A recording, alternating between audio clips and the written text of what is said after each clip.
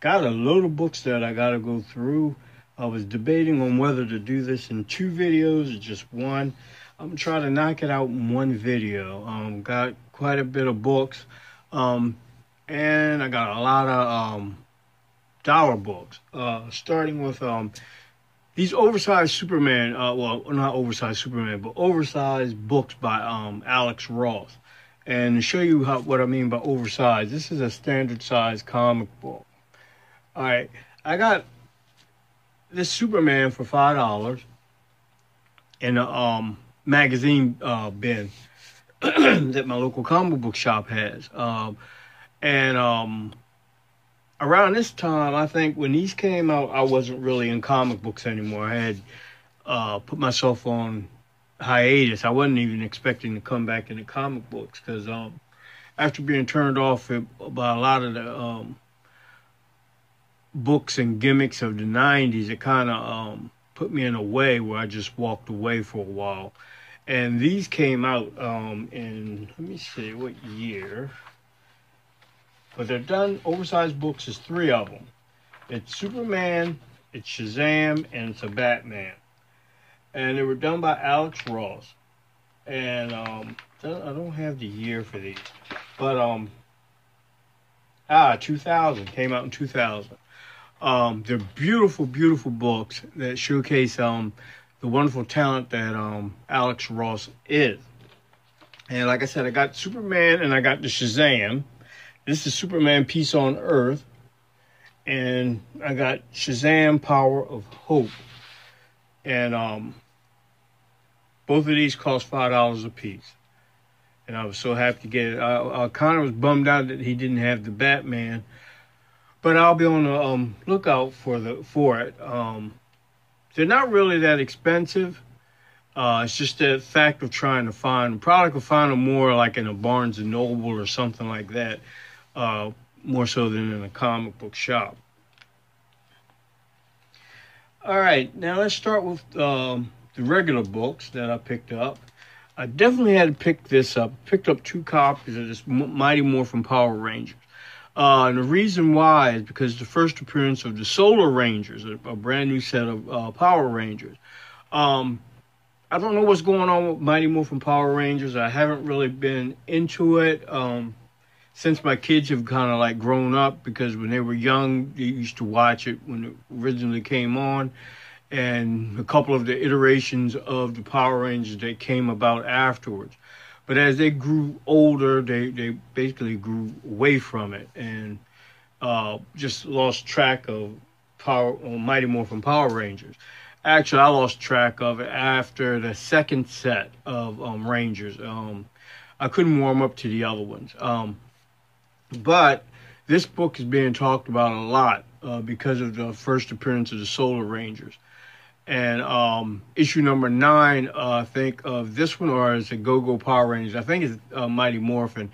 Uh, first appearance of Lord Draco. Um, I have that one too. But um, there's something to be said for what's going on with the Power Rangers, and keep your eye out for for what's going on in those books. I also picked up Silencer number 17. Um, I think it's going to end next issue with 18, but this has been a, um, I really enjoyed the books that I have of this, and it's got me to the point where I'm gonna go back in the dollar bins and start pulling out the rest of them so I can complete my run on on this character. And um, I just got a feeling the character will be back. Um, it's a great character with a great story and that's a great uh, villain. I didn't get a chance to read the issue yet, but I plan on it. Teen Titans number 30. Um, this is a good book. Titans is a good book. And at the end of this book, um, uh, Crush's father, Lobo, makes an appearance on the very last page, um, kind of welcoming his daughter And um, only way that uh, I think he's a Czarnian. Uh, I might be wrong, but only the way that they do, because they're a different type of people. But um, I can't wait to see the next issue of it to see where this is going. Now, this one, Naomi 5. Okay. This book, they finally caught up to uh, as far as comic book stores to order a lot of copies of it because um, I went to the comic book shop today. I bought some more um, dollar books, and they still had Naomi Five on the shelf. But the funny thing about this issue is it has a lot of potential because it's revealing a lot more about her and revealing more of her her people. Um, different characters and their first appearances are popping up in this book. So I would advise anyone at least take get a, a, a, one two copies of it to hold. I know it's on the shelves and I know it's um um abundantly ordered this time around, but it doesn't diminish the power of, of what this book has in it. And like a lot of people who were kind of like basically against Naomi at first because of whatever reason, um, now they're finding out that it's a very good book. You know, it's a very good book. It's got legs on its own. Um, even though next issue is the end of it, it's not the end of that character. Uh, she's going to be joining Young Justice, and um, as popular as she has gotten now, I'm quite sure that we they they will be re-releasing um, Naomi again, and um, be just be on the lookout for it. Um, picked up Immortal Hulk, number 17, and kudos to Immortal Hulk for outselling Batman. Uh, I don't have anything against Batman. I love Batman, but um, it's a wake up call to what um, a book that Batman has become a slow moving book that isn't going anywhere. And um, don't get me wrong, I like Tom King. Uh, I like his writing, but there's a flaw that I've been noticing with his books. Every book that he has written is always about something psychological, um, a psychological bent to it, uh, as far as the characters twisting them up psychologically, and um, which is all well and good. But I mean, get your story, get it started and get it over with. Don't drag it along. I mean, for so long. Plus, uh, you know, with the wedding of Batman and Catwoman and all was entailed with that. I mean, just a mess. But Immortal Hulk is a surprisingly good book. Um, I didn't catch on to it till around the fifth issue. I do have um, some copies of the first. I don't have a copy of the second. I got the third. I think I'm missing like maybe one more. But um, I, uh, as far as the second issue, I'm, I, I, want a copy. I may get a copy, but I'm not pressed about it. I'm not pressed about uh, the first appearance of Doctor Frye. Um, I don't know. It, it, I, am not paying that type of money for that. Uh, new Agents of Atlas number one. Multiple new characters being popped up in this book. Um, uh, pretty interesting. Uh, we'll see how well this goes and how well it'll be accepted. Maybe they'll be around for a while. Now in the dollar issues, uh, this book I got in the dollar in the dollar section. So, uh, got I already have a copy of this. This is a great Yasmine Putri cover for Nightwing number 54, and I was glad to find that in, in the dollar bin. And my B covers like I slowed down a lot on my B covers because um it's like every, like I said everybody's done caught up to these B covers now and I'm real selective of what B covers I'm, I'm going to get. Uh, Batgirl number 35 uh, Middleton cover I, I like that. Um, DeMatteis Batman number 69 a great cover. Teen Titans number 30. Uh, that's a great cover too. I like that one a lot. And it's not a B cover, but actually it's a it's a B cover, but not uh, DCB covers. Independent comic book. Ice Cream Man number 12. I picked that one up. And these are the um, Battle Line covers that I picked up for Marvel. Um, Amazing Spider-Man, I think issue I can't remember. But um, that's a great black cat cover. And Venom number 14 with the um, Carnage cover. Pick that up. Now on to these dollar books um, that were on sale. Three for a dollar or 15 for 10. And um, some of them in here maybe uh, aren't dollar books, I'll let you know. But otherwise, these are all dollar books. Um, picked up. This is, was a, a, book from the President's Drug Awareness Campaign. Um, when the Titans were, um, uh, it's a, you know one of them government type books to um, help kids deal with uh, not getting involved with drugs. But it's just interesting that they don't have Robin in it. Instead, they had this character called the Challenger, uh, if I remember correctly he was leading the um, Titan Titans, and, and this issue and it was another issue that they had um, giving out by the government. I found this Sub Zero Batman and Robin Adventures, uh, the one shot. I love this one of my favorite uh, Batman animated adventure um, movies. Uh, I love this movie. I watch it a lot. Um, a great, great movie with uh, Mr. Freeze. I, I always love Mr. Freeze because he's like, he's really, um, he's driven only to try to save his wife. Um, other than that, um, he, he's not. Uh, well, he is a villain because he's going to do what he what he's got to do by any means. It means hurting someone else, uh, he's more than willing to hurt someone else to achieve his goal. Picked up two more copies of this this book, I'm surprised doesn't um, hold that much of a value. Uh, this is a very important book. This is the first time Dick Grayson becomes Batman um, in Batman issue number 512. And, and for the life of me, I can't figure out why this book hasn't jumped up in price. Um, very easy, like I said, dollar bin. But um, it's an important issue because, like I said, the first appearance of Dick Grayson as Batman even though he wasn't the first person to become Batman, he gave that to um, Azrael. X Men um, 342, and this is Joseph on the cover. He was a Magneto clone, and um, actually he was a good guy at first, but uh, I don't. I stopped reading after a while, and I think he went crazy or something. I'm not. I'm not too sure, and he ended up dying or whatever. Stars and Stripes. Now, this book I have never seen. I got the first issue, but after that, I didn't see any issues anywhere.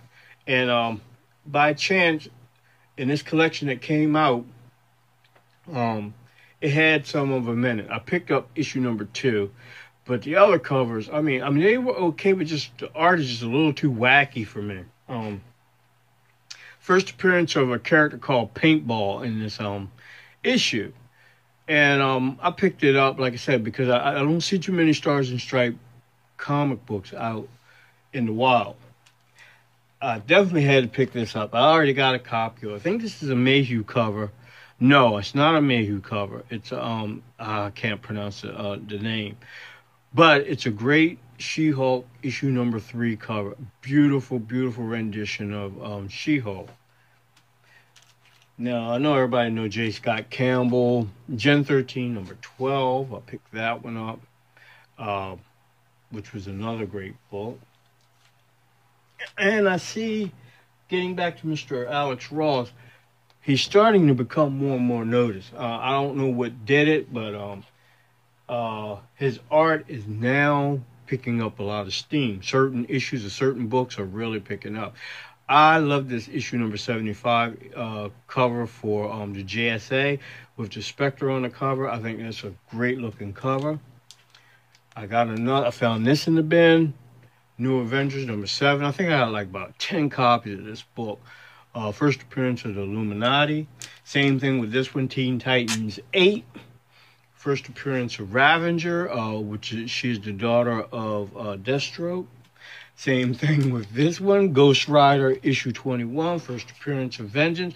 But it's funny, they have this is the first appearance of Vengeance, and I got another book I think in here, and I looked that one up, and that one says the first appearance of Vengeance. So um, I don't know if they came out at the same time, uh, and they're sharing the um, uh, they're sharing the um,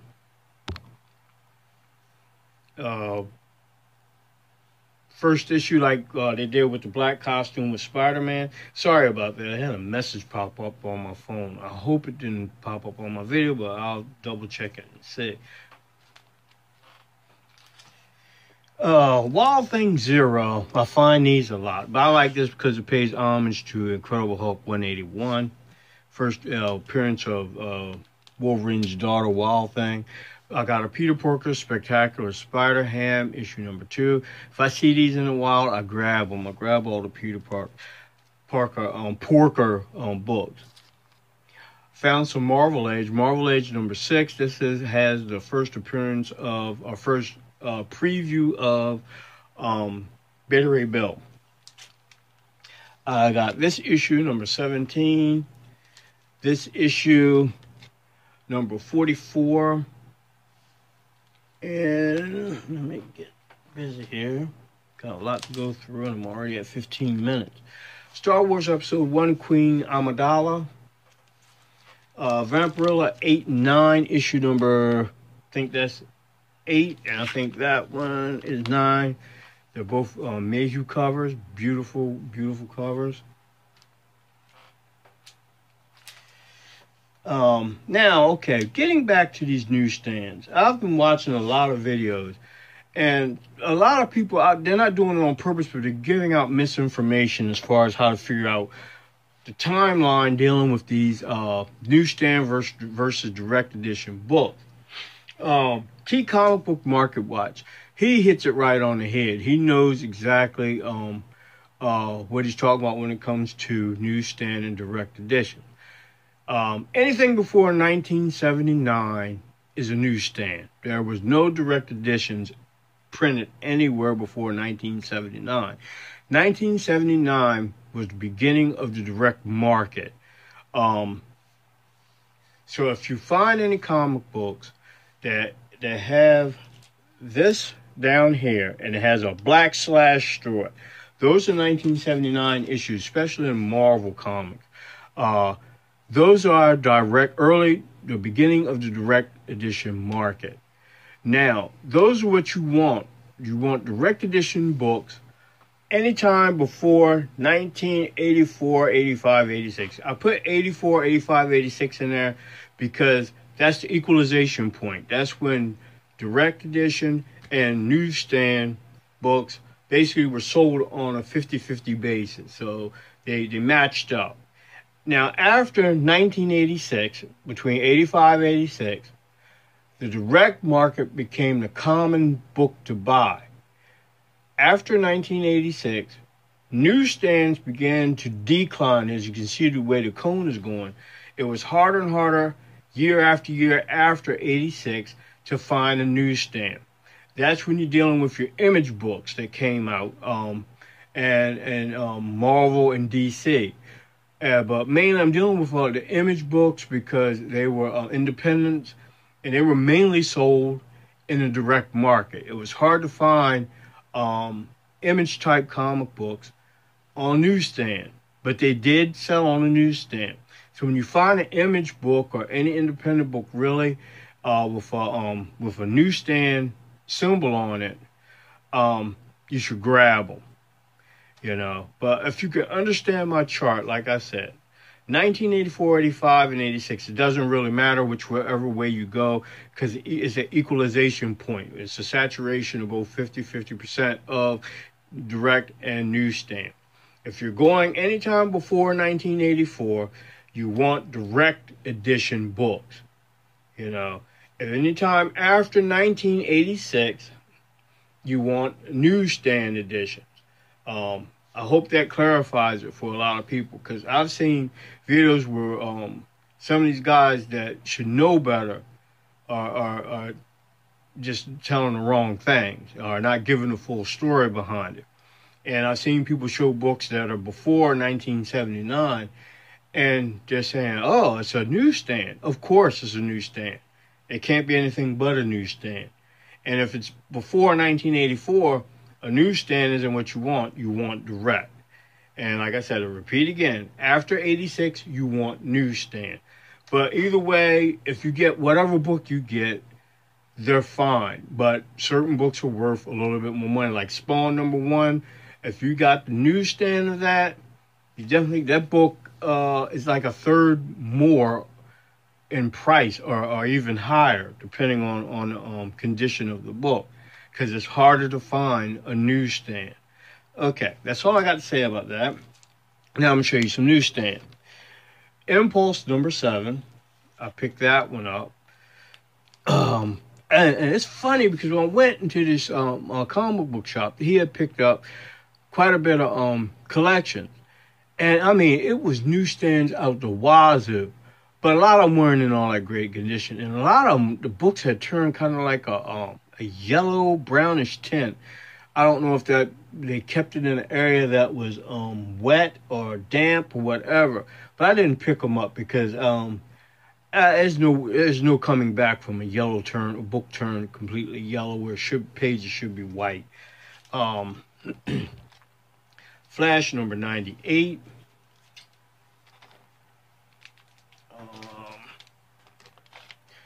Flash number 100. Now this is the other Ghost Rider. Ghost Rider, the new Ghost Rider, Midnight Suns. Um, what is it? issue number 46? Uh, this one also claims to be the first appearance of Vengeance. Okay. Well, he's on the cover, so I mean, if I had to go with either one, I guess I would go with that one because he's on the cover. I like this one because it's a um, homage cover, but as you can see, uh, as I was talking about the yellowing, it's got a, like a yellowing tint, tint. This one is not as bad as the other ones that I saw, but I, I definitely wanted to pick this one up. I mean, for less than a dollar, you couldn't beat it. Uh, Fantastic Four issue 390. It's got uh, Ren and Stimpy, issue number 36. Spider-Man 2099, issue number 25. Issue number 30. Issue number 32. Issue number 38 uh, issue. Uh, also, that has um, Venom 2099 in it. Uh, issue number 39. Issue number 40.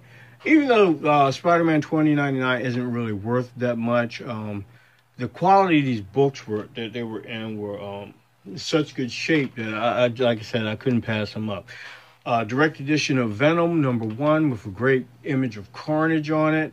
Um, definitely that, and this one I really was happy about. Spawn number 31, first appearance of Redeemer, um, and it's a newsstand. And like I said, Spawn newsstand, and right now Spawn is like a hot commodity right now. Um, I was so happy to find this book. This book is in great, great shape. No dings, no nothing. I saw it. I was, I, I kind of like was kind of shaking when I picked it up, because I was like, oh my gosh, the Redeemer first appearance.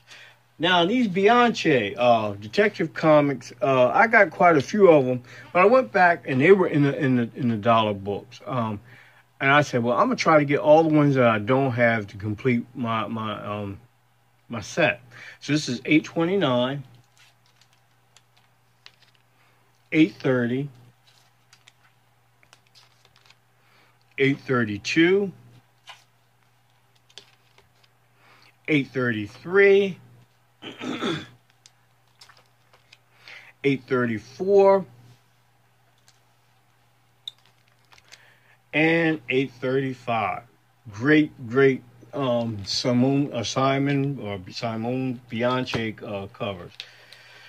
This was wrapped up in a comic book. I had got it. I thought, oh, this is one of the weirdest looking covers I've ever seen. But when I got it home and opened it up and put it in Mylar, it was a cell on top of a, a comic book. It was put on top of the comic book, and the um, animation cell was a Spider-Man and Doctor Octopus. Um, this is the second um, one that I've gotten, and um, I'm glad to have it. I think they're pretty interesting animation cells. Um, now these uh, Justice League uh, number 20 had that uh, three cover issue, and it went over real great. And but I think what made it uh, valuable was the fact that it had the six dimensional version of uh, the Justice League. But there were a couple times when they did a triple cover.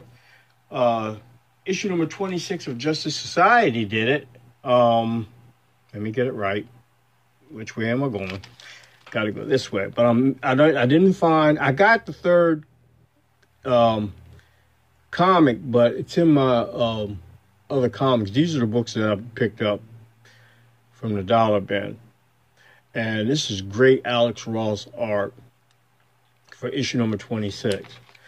And in Justice League of America, issue 12, they did the same thing. It was three covers that made a great image. Beautiful, beautiful book.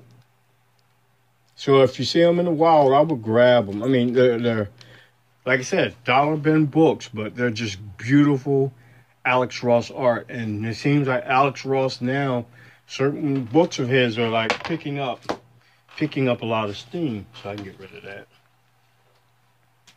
Picked up 52 week number 33. I got another copy of that with a early Batwoman cover. Uh, definitely had to pick this up. I got this one, but I want another copy of it. This book is overlooked a lot. Got a great jock cover. Um, it says Batman issue number 646. Got another copy. I got like three or four copies of this one. Uh, Batman 663, great Joker cover. Uh, okay, this one I paid a little bit more for. This is Spawn number 190. I got this one for how much did I pay for this book? Uh, I think 10 dollars for this one. Uh, because all the spawns after um, close to 200 or after what is it, one 140 or something like that. They're hard to find. Um, Max, I'm not really into Spawn, but I'm intrigued by what's going on with Spawn, and I do like uh, Greg Capullo art. Got another Vengeance of Vampirella number seven. Adam Hughes art, great art, and I picked up Vampirella Death and Destruction issue number two, another Adam Hughes cover. Now these, like I said, these are these books that I'm showing now. Um, let me go through. They did not cost a dollar. These are from, oh well, a few of them are. But this one I paid four dollars for. Uh, A Force number one. Four dollars for Bitterroot number one.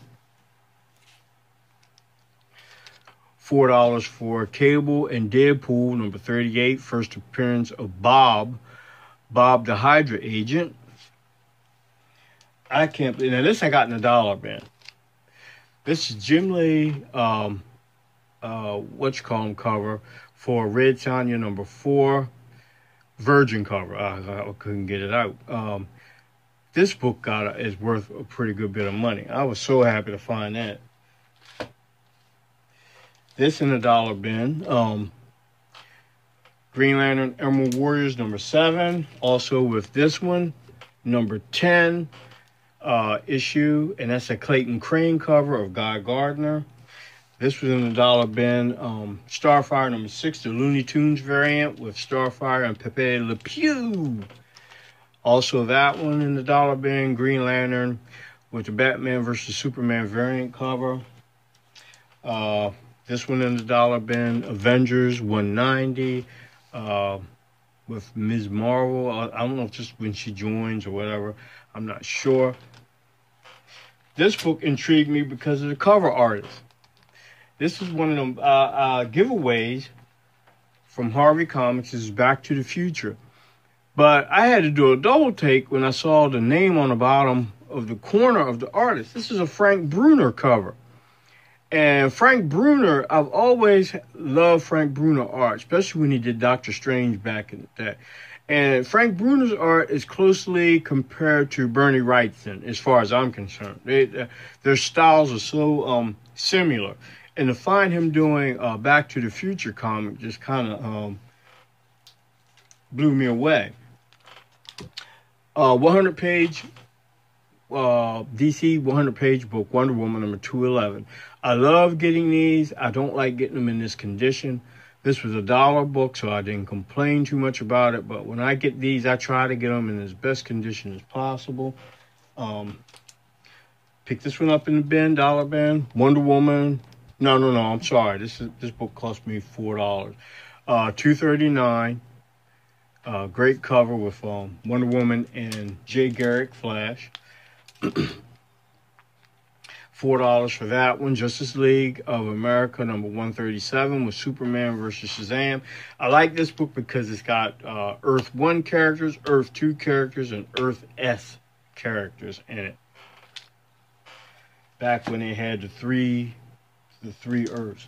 Um, definitely had to pick this one up for four dollars.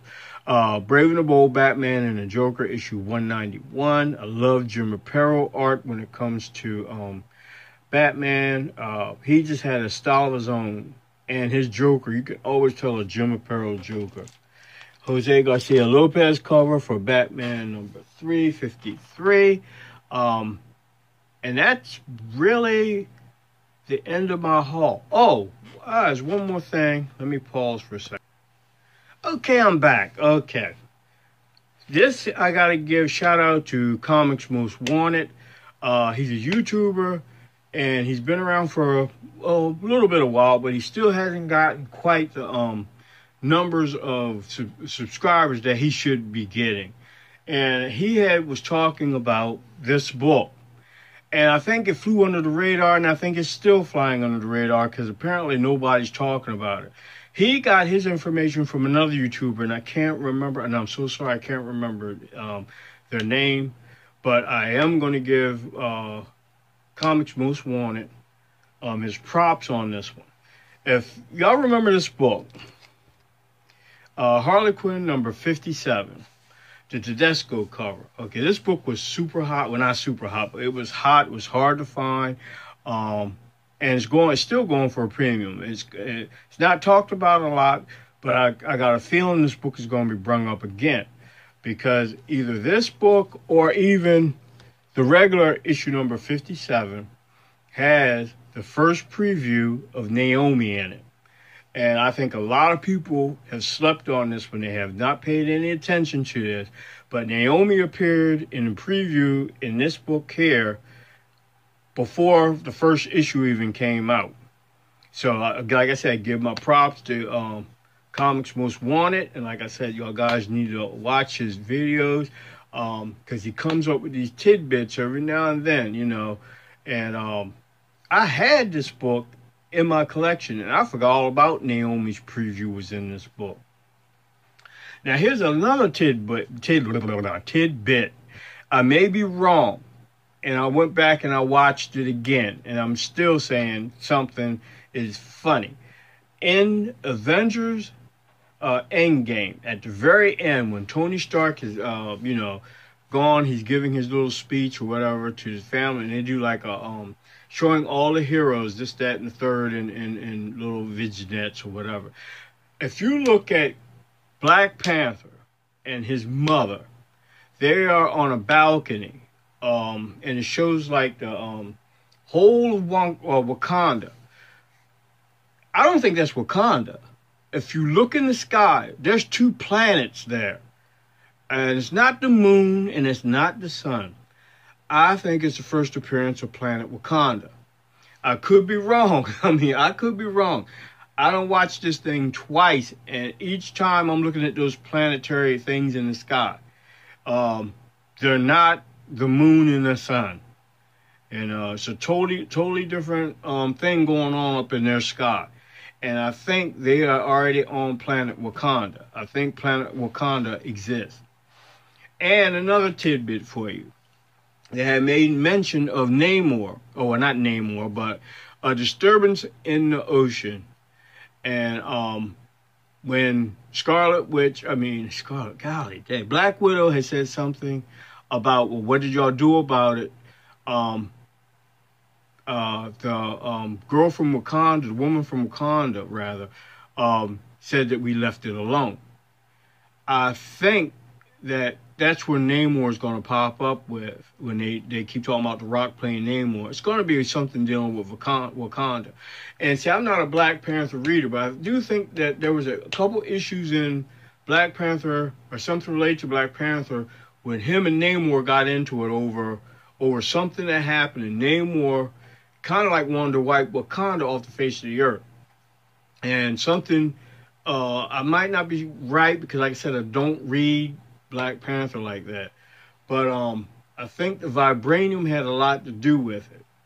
And I think um, if you can find those issues, I think it's Black Panther issue one where they first talk about um, Planet Wakanda.